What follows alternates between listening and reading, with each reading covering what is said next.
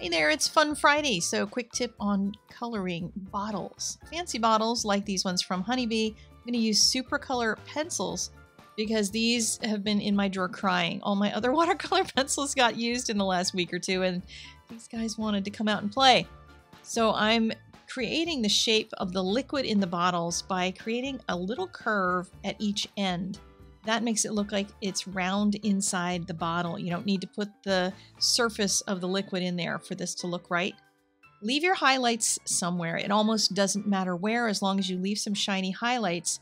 And when I get to the end stages, I'm going to actually cover over some of those highlights. So I have some pink highlights and some white highlights on the bottles.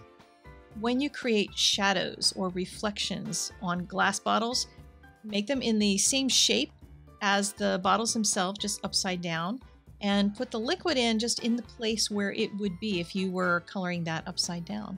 If you learned anything, I'd appreciate a thumbs up or a subscribe.